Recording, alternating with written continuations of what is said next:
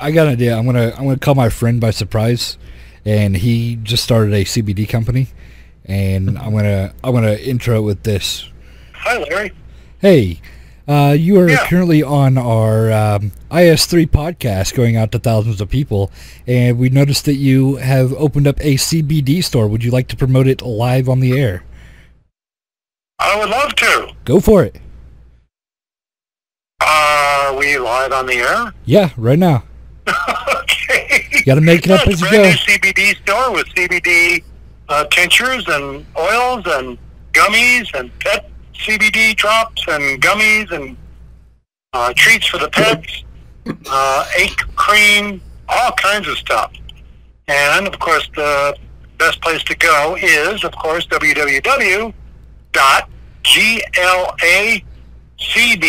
www.glacbd.com. Any questions? Absolutely. What do you? What is Throw it. CBD for? What? Are, what are you using it for?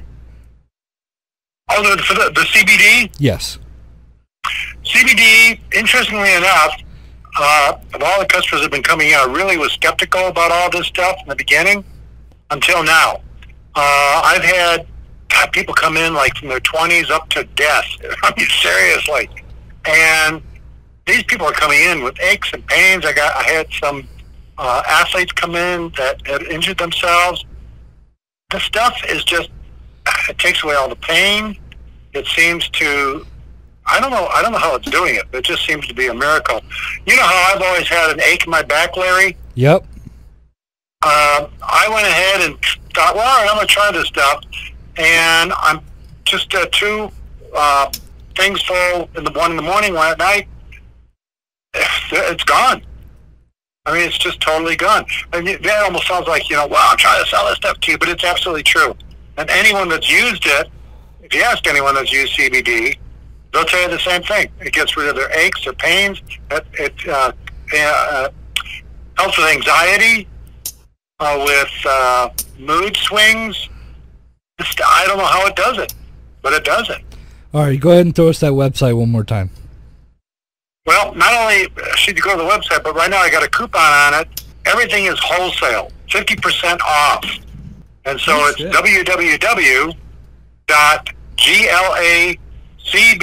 www.glacbd.com. All right. Well, thanks for your call. We really appreciate it. You are currently on the Thank you are currently on the IS3 podcast. Thanks for calling. Awesome. Have a good day. Okay, you too. Bro, he's, bro, he's such that was awesome. That was He's like- that was like perfect commercial. It really was like he, he Perfect commercial. fucking coordinator scribble.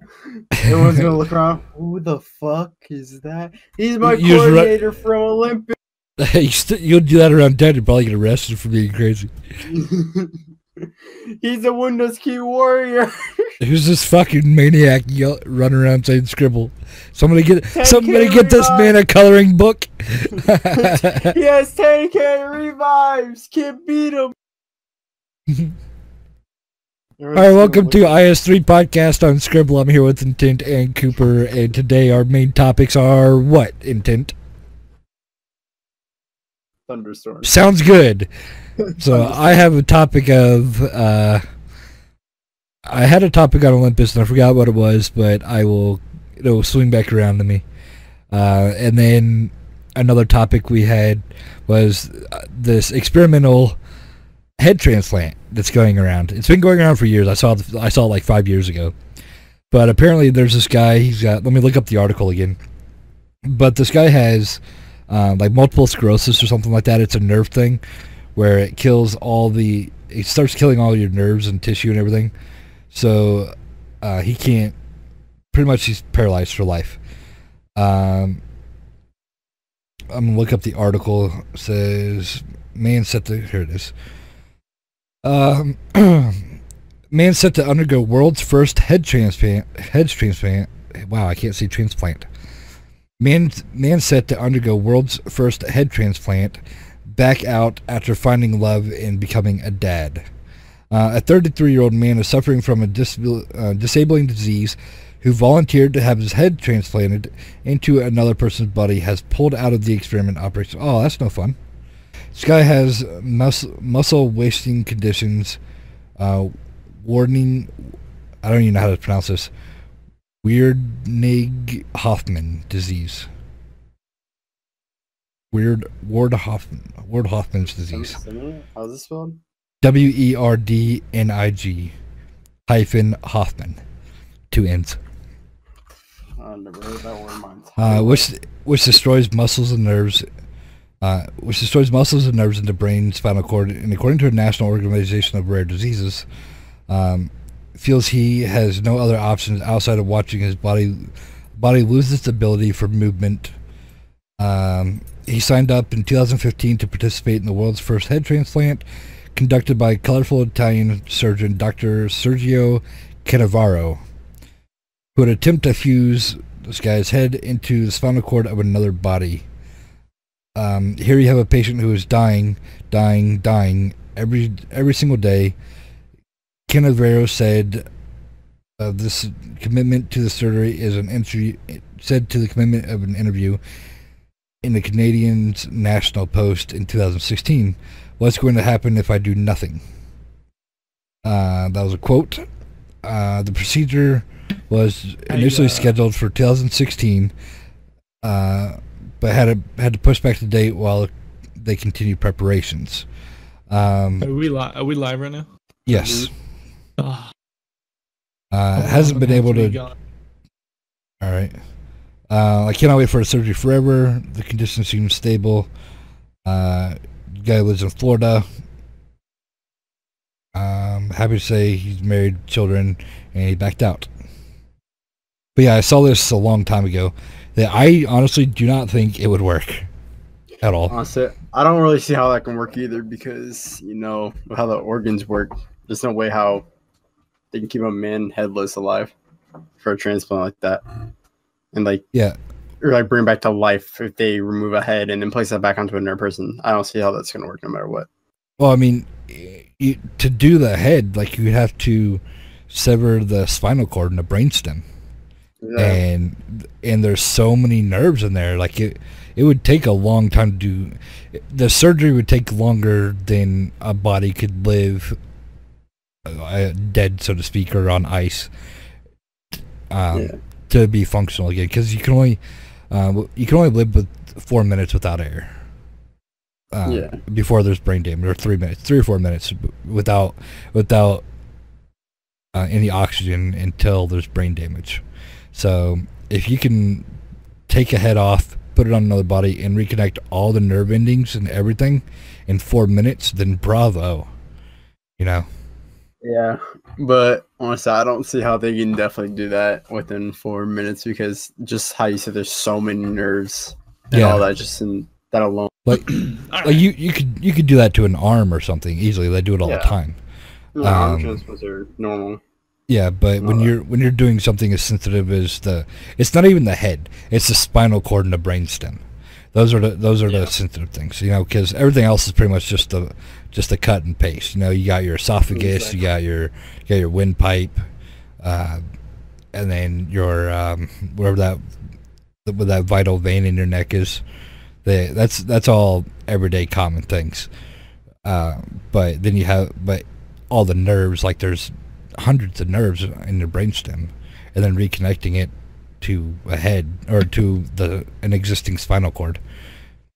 So you know that it. W- I don't think it I would actually almost uh I actually almost cut my uh head off. No, almost no, no, not my head.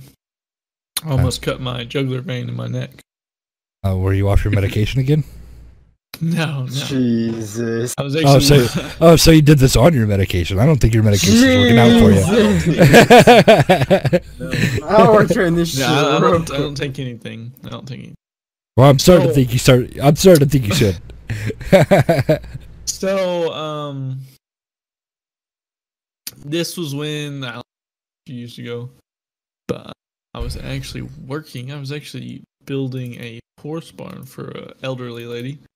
Oh, it's Um, painful. I actually cut my neck and my face open. Um, so th- I was building a horse barn for this elderly lady. I was down welding. I took my hood up, came up, and in the back of my pickup, um, there's this trim, right? And so I looked up at, I, and I looked up toward when I opened my hood, my head was faced up toward the sun, so I couldn't see. And somehow, I, in that process, I took a few steps forward and ran right into it. And that shit Ow, that Yeah. sounds painful. That And that looks you know painful. It, it actually looks is? for for a cut on your neck. That actually looks really clean. um the the the part is it never really even hurt. Beyond, never. Huh. Um, I never really faint feel felt. Can't talk. Felt, even feel never any- never felt faint pain. Jesus Never felt any Christ, pain in that. I mean- Moore. No, but I mean, I I've actually- tell my neck was open, but Yeah, I've actually done that a few times with uh, my hand. I've cut my I've cut the same hand open twice in the webbing, and Mm. I've lost all muscle strength between my thumb and index finger on that hand. And in and so nowadays I can't even I can't look or I can't look at anything or do anything that involves pain or cutting near the fingers because it psychs me out, you know. They it was it was just me it was me being stupid and just not not doing things properly and cut my hand open twice. You had to get stitches both times. Two different times, same hand. And so now like even just talking about it now, like I'm I'm moving all around everywhere because I'm I'm like you know. I can't uh, I can't do anything that involves that. Like I have it a really freaked you out. uh, no, it never. It didn't freak me out. Just now that I think, like thinking back on it, it freaks me out. And um, I see. I see. like I, I have a, I have a video, um, changing my lawnmower oil, and I had to use a tool to tighten it because I don't have any strength in my in my hand because all, I I barely have any nerve like I barely feel anything just in this certain area, and I have zero strength anywhere in that hand, so I I can't do any kind of major strength strength worthy so, something that I need muscle for in my hand, you know, like rubbing one out or right. messing with Cooper's gra- ant or you know, I had to use my other hand. but uh and so like there's a video like I'm using a tool to do this and people are like, Why are you using a tool to tighten that? You're not supposed to do that. I was like, Well, I don't have any strength in this hand. Yeah. We use the other hand. It's like the other hand's holding the camera. What do you mean? hmm So, so that's kind of so anything to deal with that and toes. Oh, I can't do anything with I, uh, toenails. I can't do Oh, anything really? with it. Then, oh, uh, really? Yep. Hmm. And like uh, the SpongeBob episode where they're moving the couch and and uh, Rams Squidward's toenail up. Oh, I, I can't watch it. I can't So, do anything you- with that. Are you scared of toenails? No, I'm not scared at all. It just Okay. You're Just talking about little- cringy moments. yeah, cringy Oh, stuff like is shit like shit. Yeah. Yeah. Oh, I know what you're like. You can Mhm. like hear that shit happen when you're watching a video. So Yeah, so you know, I, I can't do it. I can't do it. So, yeah, however, I can watch Doctor Pimple Popper all day long. yeah. I mean, kind of like some of that shit gets gross, but at the same time, it's like Yeah, kind of They- cool I'm not. I'm not a big fan of the. I'm not a big fan of like the big cyst ones where it's like mountains of nasty pus and stuff coming out. Like I, I like the. Uh, I like the splatter ones, like the the homemade ones where they're popping their ear and it goes and it gets all over everything. That's like just the quick pops is what I like. But the whole oozing and No, I like the big. I like the nasty ones. Like I think those are cool. well those Just the big nasty shit. ones are cysts, and Oh, yeah, which is, yeah. which is different from a pimple. Right. Uh, but like when people have like the big pimples and they pop them and it just and done, those are kind of cool. Speaking of which, there was a uh, I saw some video a while back of um, there was a guy that or his kid he had a he had a spider bite on his arm and it was all inflamed and everything. And he had a band-aid and stuff on it for a while and then finally um, he they pulled the band-aid out so he can kind of relieve some pressure and they pulled out this the po- I guess it was the poison or dead tissue or whatever but they were squeezing and squeezing nothing could happen. And he took these tweezers and he grabbed a hold of like this it looked like green it looked like mucus. So Yeah. He pulled out this green whatever stuff, and like just right after that, it just popped and that, and that was it. Uh, I closed Discord because I'm not gonna fucking look at that, you assholes. Uh, um, you know something about that stuff. I wonder if that stuff get you know this is kind of off topic, but I wonder if that stuff gets monetized on YouTube. I don't know. I mean, I there might be a special licensing for it, I guess, or a special. I, it can be filed under health because you know how there's absolutely no nudity or or attempted nudity, like some some bikinis or or uh, Mm-hmm. I hmm some some people get demonetized because like they're bra strap shows or something. Right. They, right. but then you can, but then you can have a video on teaching new mothers how to connect a baby to their nipple for for breastfeeding. But you can Mhm. completely have that. You can have complete show because it'd be under, I guess it'd be under health and wellness. And medical terminology. yeah, so it's kind of kind of like that. So even though breastfeeding is like first off, I have nothing against it. You know, if you want to breastfeed in in the middle of dinner, uh, in the middle of a restaurant, you know, have at it. Like you're doing the right thing. You're feeding your baby. You know, do you know you do you. It doesn't affect me at all. And it actually, it actually, I'm with the people that get mad when other people say, "Oh, that's disgusting." You know, why are you doing that in public? It's like first off, they're feeding their kid like they're supposed to do. They're not taking them out to a restaurant where they're eating greasy ass fucking burgers. All right. Exactly. So Yeah. you know, mind your fucking business. So you know, they're they're doing what they're supposed to do. They're feeding their child nutrition from their own Mhm. body.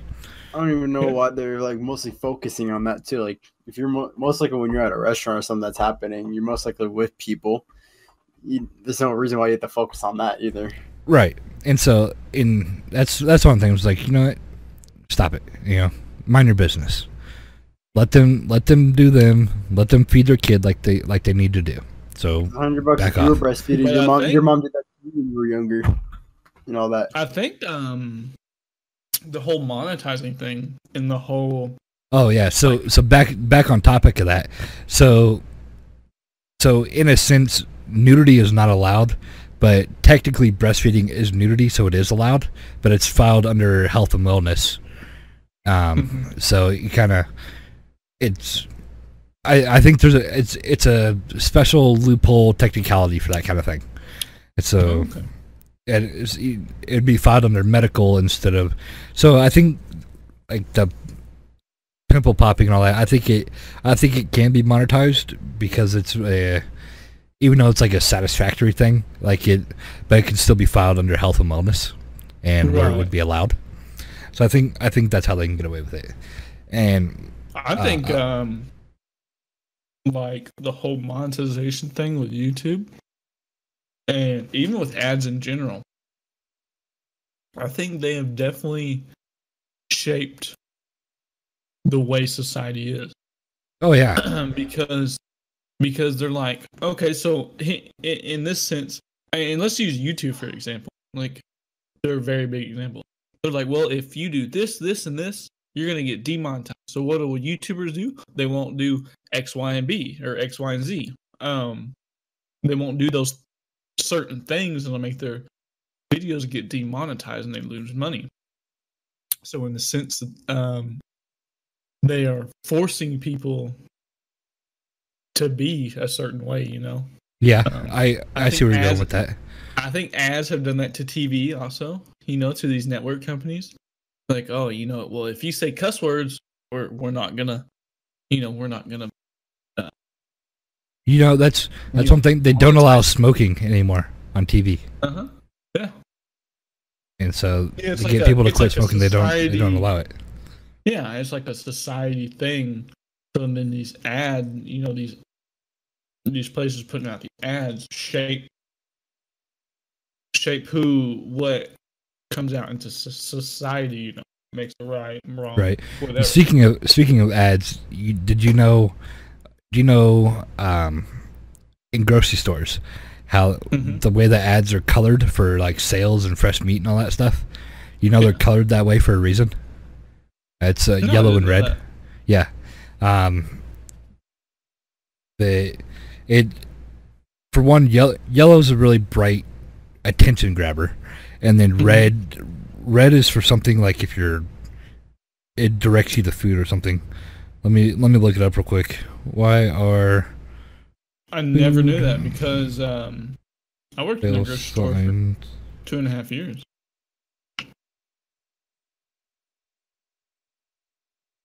When I was in high school. All right. So here it is.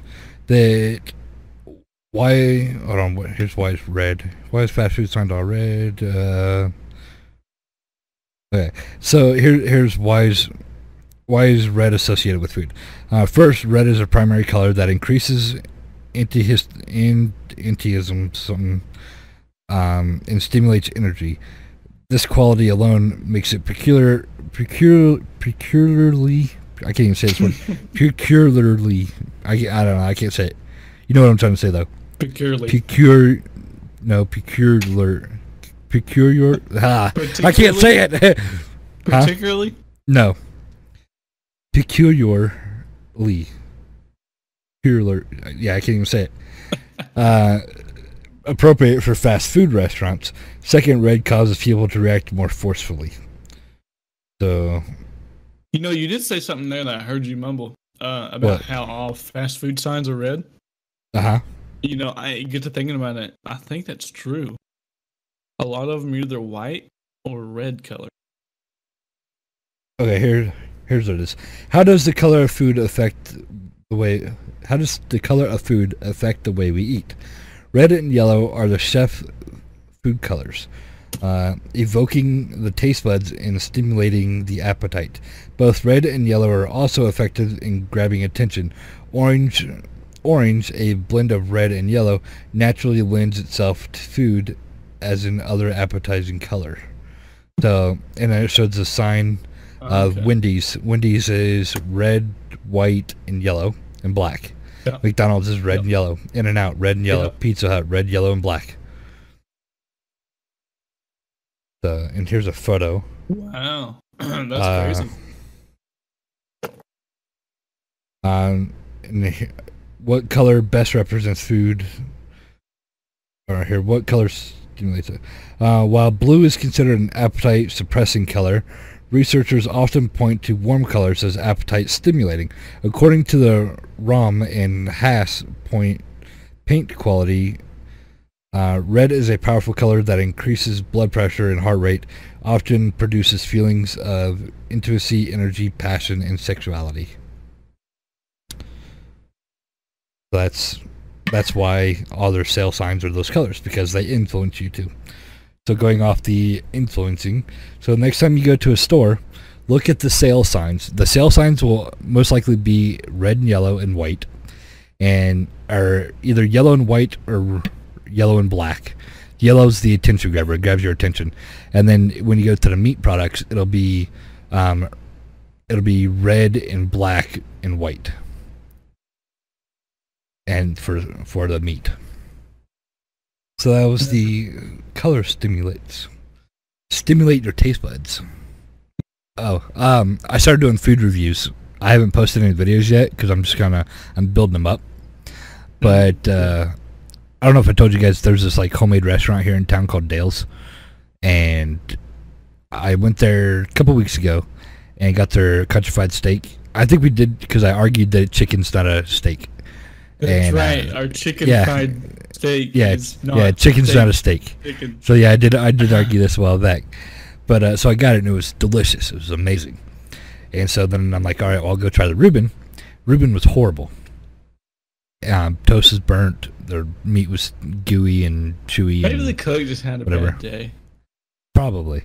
Um, but today, uh, I had to go do laundry today because I was out of clothes, and so I walk. I walk into the laundromat naked and start washing my clothes.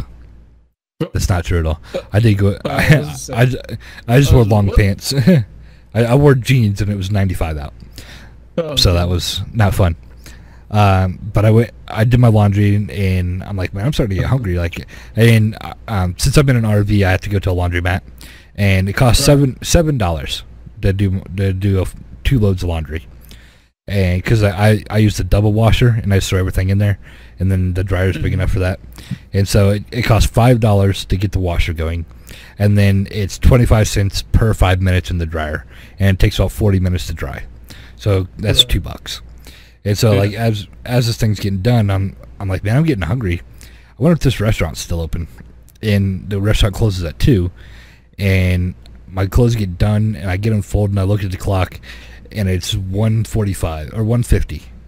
I'm like, Mhm. all right, well, this place is right down the street. Hopefully, I can get there in ten minutes because speed limit's only twenty-five. There's a lot of people walking back and forth across the street, so you have to like go slow right. for them and all that.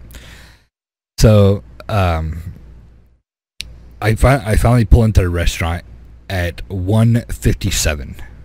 I'm like, "Can I still order food?" Like, yeah. I'm like, "All right, cool. I'll get it to go, so you don't have to worry about it."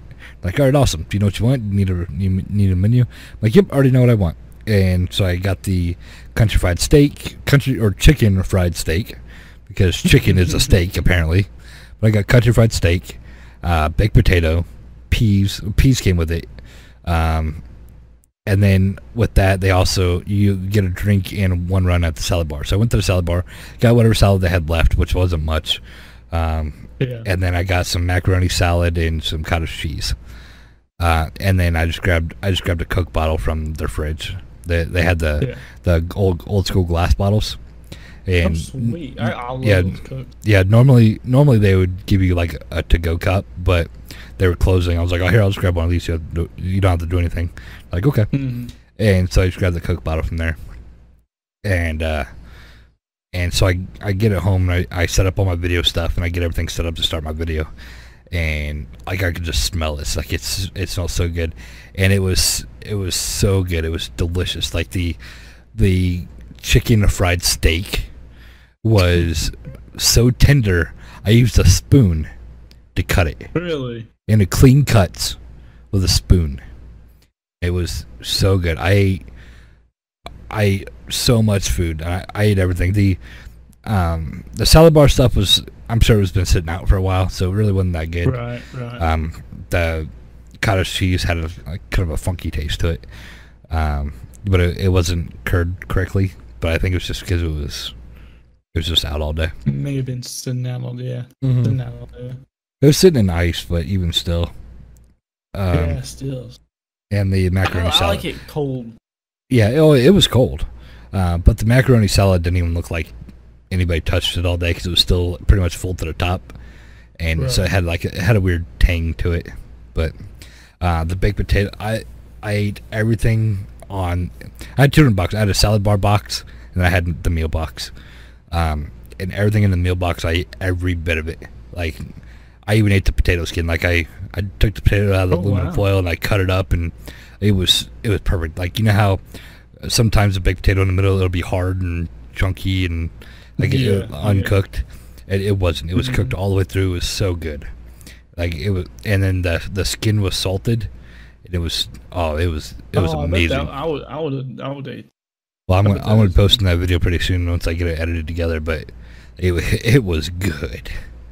I bet. And so they they they brought themselves back from their from their Reuben because that Reuben was horrible. So and it only cost, maybe you'll go there cost a me thirteen dollars, and maybe. and it will be. I don't know. They they have a bunch of stuff. Um, I've been up here for a while and I still have not had bison yet. So I'm gonna have to get something with bison. They have bison hot dogs, but I'm not really sure it's a hot dog. You know what I mean? Bison is kind of a sweeter meat, believe it or not. Is it? It's is kind it- of tangy and it's sweet. It- there's, I, I can't explain it. You have to eat it for yourself. It's kind of like I'm serious. It's kind of got like a cinnamony, cinnamony. I don't know how I'd say that. Sweet send an enemy. See an enemy. See an enemy. yeah, there we Shoot him. Um, but yeah, I'm pretty sure it's sweet taste. Is it like No, venison? I, I haven't venison? tried it since I was a kid. So since I mean, I was a So, little are you saying are you saying you haven't had buffalo meat in your mouth since you were a kid? Yeah, yeah, uh-huh. yeah. But No, it's, uh, it I- actually I enjoyed it. I liked it. I, I want to try. I, I don't think I've I might have had it before, but I don't remember. I, I've had more of like venison and um you know regular meat, normal Right, meats. right. But uh, I kind of want to. I kind of want to go places where they serve exotic foods. You Like, know, I I was wa- just about to say that. I would like to travel places and try different food. Yeah, I want to. I want to eat a bald eagle. What? You don't. What? You never wanted to eat an eagle? No, not a bald eagle. Okay, a regular eagle, golden eagle. I mean, not really. Like those are supposed to be like hawks and eagles. You're not supposed to mess with Why not? because I don't know. Or a tiger. I want to eat a tiger. No, no, Why? you're off the wall. You're off the wall. There's Well, no then. way. I mean, I would like maybe some. I don't know, maybe some fucking. uh, Some like raw sushi, like Japanese style. Oh, I I eat sushi all the time. I mean, Sushi's good. I mean, I do too. I mean, but like I'm talking like some exotic. Maybe exotic like a sushi, freaking- like a blowfish. Yeah, like some. Yeah, like. Speaking of something which, that. did you know blowfish? That you have to go to a specialty school. That I, I don't know. I'm sure this is only for Japan, but um, for blowfish, you have to go to a specialty school under a special teacher for two years before you can even serve your first blowfish because they're so dangerous and poisonous. Yeah, because they're poisonous, and if you yeah, if you start yeah, if you cut way, the wrong thing, they Yeah. you it'll kill you. But Mhm. so yeah, I, that's it's kind of fun. Like that's dedication. If you have to go, if you dedicate yourself to go to a specialty school for two years just to serve fish, then you know props to you, man. I mean, yeah, you're hundred percent. I mean, I'm gonna say it now. That's that is. You have a passion. Oh yeah, for sure. The, or we got about I don't, I don't know. We can wrap this up now if you wanted. We got about five or five minutes left or something. Um, I mean, that's Eight minutes. Do you have any? everything I wanted to. you have any closing? I wish I could remember what I wanted to talk about Olympus, but I don't remember now. Uh, Oh, that uh. I've been posting. I've been posting these on here, and somebody that was really mad at me, that commented on it and said, "Your voice makes my brain hurt," and so I replied with, I replied with, "Thanks. I'm glad I can make your day better," or something like that. Glad I can make your day Yeah, more how is pleasurable. fe- how is the feedback on the? Good. I get a lot of people are liking it. I don't know if it's because it's Olympus related, because that's the only place thing's been posting. But um, the actual the actual podcast, you know, we'll have to get we'll have to get more feed on these next few episodes. views on them. Um, well, I, have the statistics right here. I will go over them. Um, this is in the last. This is the last 24 hours. I have a total of 85 views, two likes, um, on podcast one, with the story, which is 25 views, with podcast two, which is the technicalities, has 50 views, and then podcast three, which was the Meet Me and Support one, has 10 views.